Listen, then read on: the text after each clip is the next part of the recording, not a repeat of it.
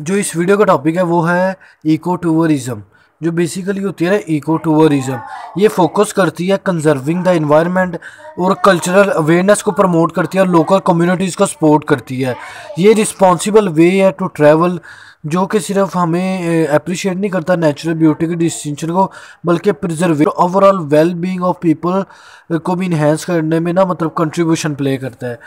तो इस बात को मेक श्योर sure करना कि इस प्रेजेंट मूवमेंट में ना हमें एक एक्यूरेट और फैक्चुअल इंफॉर्मेशन चाहिए।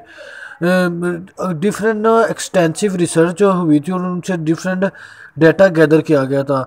हम अब, ना मतलब इको टूरिज़म के मतलब कुछ रिमार्केबल डिस्टिनेशंस करते हैं। नंबर वन पर है कोस्टा रिका जो हमारा फ़र्स्ट स्टॉप है ना, वो कोस्टा रिका है। वो एक स्मॉल सेंट्रल अमेरिकन कंट्री है, जो कि जानी जाती है उसकी commitment to environmental stability stability की वजह से सस्टेनेबिलिटी की वजह से।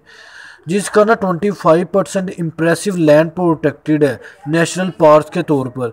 और ये एक हेवन है फॉर नेचुरल एंथ्यूसिस्ट के लिए। और जो उसके बाद है ना नंबर टू पे वो है आइसलैंड अगर हम आइसलैंड की बात करें ना, ये कैप्टिवेटिंग लैंड है फायर की और आइस की।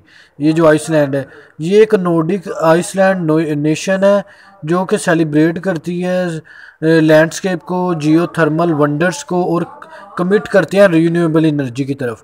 और जो नंबर थ्री पे है, वो है ब्रुनोई जो हमारी फाइनल डिस्टिनेशन है ना, वो है आइलैंड ऑफ़ ब्रुनोई जो कि मलेशिया के साथ शेयर और इंडोनेशिया बर्नाई के साथ शेयर है। ये अपनी बायोडाइवर्सिटी और लश रेन फॉरेस्ट की वजह से जाना जाता है।